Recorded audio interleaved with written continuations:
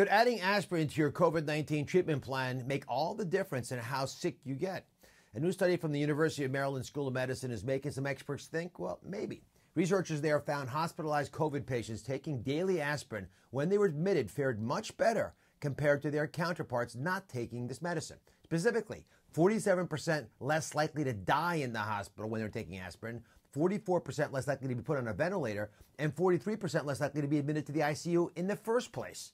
Now, as a reminder, aspirin is a non-steroidal anti-inflammatory drug, which means it's sold over the counter. It's used to treat inflammation. It's in, in, mild to moderate pain and fever, right? Things you've always used it for. It's also a blood thinner, and doctors often recommend low dose aspirin for people uh, who previously had a heart attack or stroke caused by a blood clot because it'll prevent future blood clots. Now, researchers think this may be why it is so beneficial to COVID patients. We know they're at high risk of forming these blood clots that can lead to organ failure, including heart attacks and strokes.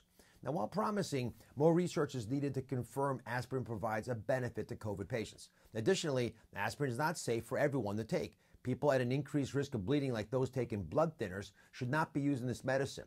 It's also a concern with people who have liver or kidney disease. But without a doubt, it's exciting research as we continue to battle this pandemic. I'm Dr. Oz. This has been your COVID 19 News Minute.